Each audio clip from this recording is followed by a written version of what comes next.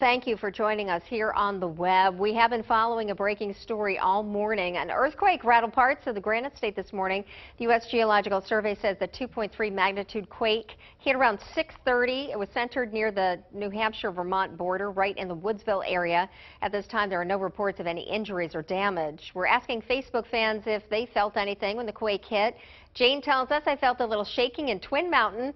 Joe says small explosion than the rattling. Yes, we felt it in North Haverhill. And Darlene says we had it here in Lisbon, was watching TV, and the house moved a little. Let us know if you felt the earthquake this morning. Well, an overnight standoff at the Motel 6 in Nashua has come to a peaceful end. Police say that the suspect surrendered about 7 o'clock this morning and that the woman that he was holding was not hurt. Police are now speaking with her. Officers told us overnight the woman had been abducted in Manchester and the standoff began in Nashua shortly after 10 o'clock.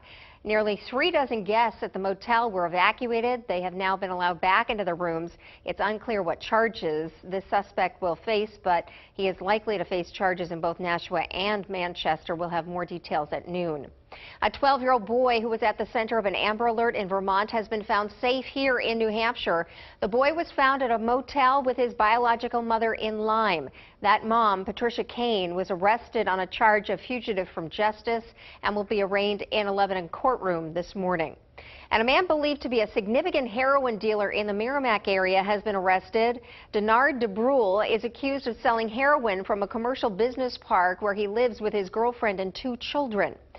And that's it for your morning webcast. We hope you can join us for more news and weather on the air today at noon.